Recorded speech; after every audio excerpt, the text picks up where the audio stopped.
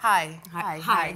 Hi. Hi, good to meet you. Hi, good to see you. Now listen, I didn't realize that you're also Russian Jewish, Catherine with a C. You? I am Catherine with a C, Russian Jewish. You are? Yes. I totally didn't know that. I know. Catherine the Great? Catherine the Great. Me too. Oh my God! Well, you know what she's famous for? Dying while a horse. That's, that's us. That's the thing. That's exactly right. I didn't know that you would know that. Well, so we so clearly we That's both have the the same line when anybody asks us about That's our right. name. Yeah, That's right.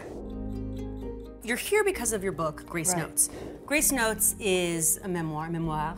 When I read these, and I know you, and I read uh, the pages, and I thought, gosh, this is it's brave, man. It's brave. It started as journaling to my children because I wanted them to know the things that I've always wondered about, and I don't have parents to ask. My parents died early, and so I don't really have any living relatives.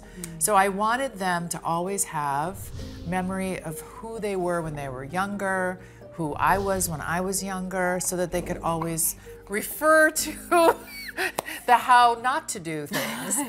right, right. I mean, it was how not to do things turned into how uh, things work out anyway. You know, you famously, when you got the Married with Children part, you chose that outfit and you put that on Peg.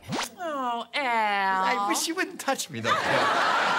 Yes, it defined the character, but it's also a screen. It's not laying yourself bare. Jesus Christ! As Gemma Teller Morrow in Sons of Anarchy, there was also a screen at a tough girl, badass motorcycle chick.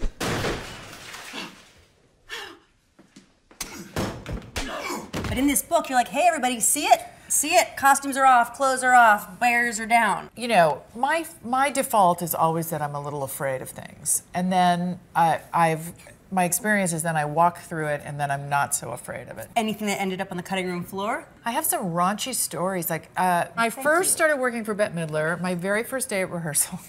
I walk in the door and there's a pair of shoes that goes flying across my face as she's taken them off and thrown them at her manager. No. Because she was in a rage. She was in a bit of a rage, and I thought, oh my God, that's my boss.